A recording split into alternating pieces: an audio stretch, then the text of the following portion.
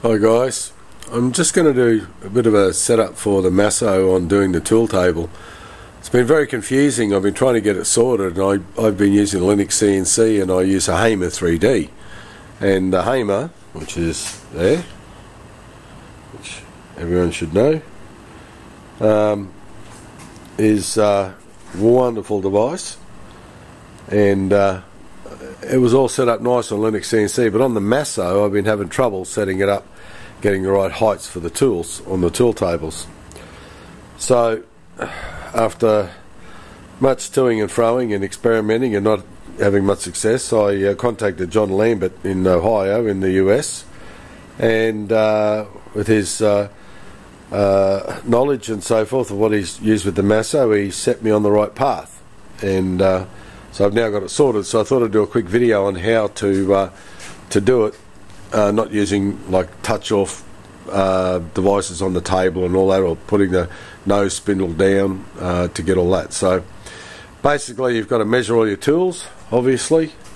So there's a I've got a granite block and a tool measurer, but you can do it on your machine or you can do it, you know, with a touch off. You've got to get your tool height, you know, the total tool height from using your, your tool height uh, uh, measurer, or you can do it off the touch off on your um, uh, machine just to get the actual tool heights. Obviously, I use the Tormach system, so um, you're measuring from the edge here to the tip of the tool, and you'll get that measurement, and you put that in your tool table, which is F4. So you can see my tool table here and um, I've got the Haimer in tool zero. Hopefully that comes out alright I'm not sure about the focus. Um, the Haimer comes in at uh, tool zero. And I've got my other tools there and that's all their heights. And it's in positive not negative like in most other software. And then the main thing you've got to do is um, after you home the machine of course and I shall home the machine Control Alt and home. So my machine's homing now, and um, my Z axis, the Y and the Z coming in. But the most important thing you must do, and you'll see how mine's saying tool 9 is the last tool used. The Masso remembers this even when you turn the power off the last tool that was used in the last um, operation that you're doing. You've got to change this to tool zero. So you have to open the MDI screen of course, which is control M, and then you go tool zero space M6 which is tool change and you want to go to the Haimer, yes. Okay, so now it says tool zero Haimer. Now you can do your touch offs on X, Y and Z height and zero the machine on each one using control X, control Y and control Z. What happens then is that everything is referenced to the Haimer on your Z height. Then all your tools in the tool table will be a correct height. So this is just a quick video to sort anyone out on that because I was having trouble with it. I couldn't get it right but uh, I've seemed to have it right now. I've just done a couple of test runs and uh, uh, it all worked pretty well. I'll splice in a little bit of video, but um, yeah, no, I'm uh, I'm very happy now. So it's it's working like a treat. So thanks again to uh, John Lambert and um, uh, his help, and it was great. Thanks, guys.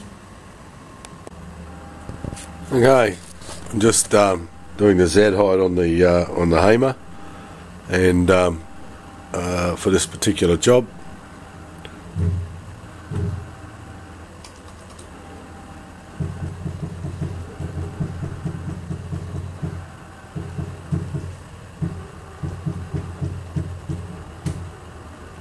Okay, that's the Z height, and then this stage is minus two five two two seven eight, and then hit Control Z to zero that axis and do the same for X and Y. Okay, Y is done. So, oh, it's not. I bumped it.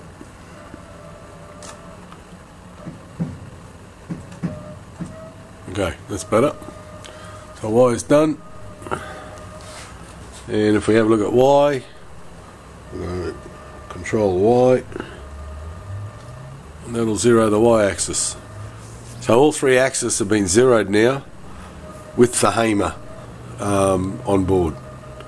Um, you'll note that the interesting thing is the Z height on the uh, on the Haimer on the machine coordinates is minus 102.638 and uh, if you added 151.983 or something like that onto it uh, it'll be getting pretty close to the actual tool length of the Haimer so uh, it's all just maths. Okay uh, files loaded and uh, let's see what happens. Let's hit a run.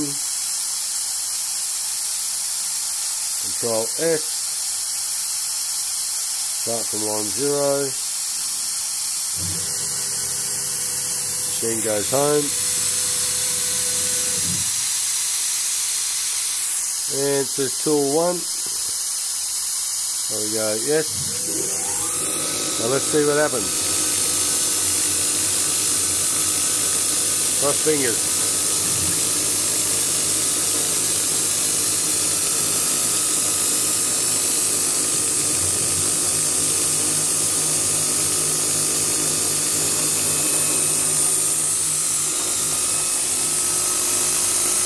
spacing operation.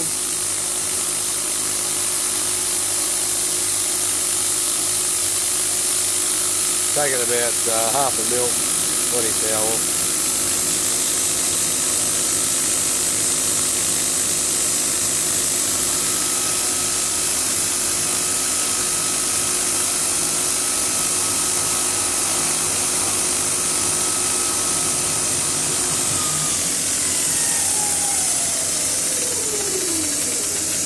That's a good old Superfly.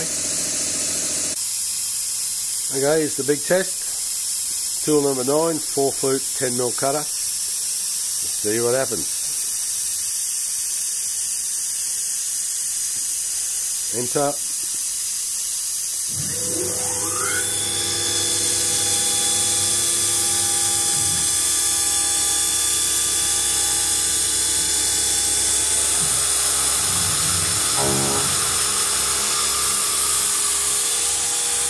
Interesting, it's not, uh, it mustn't be square the block.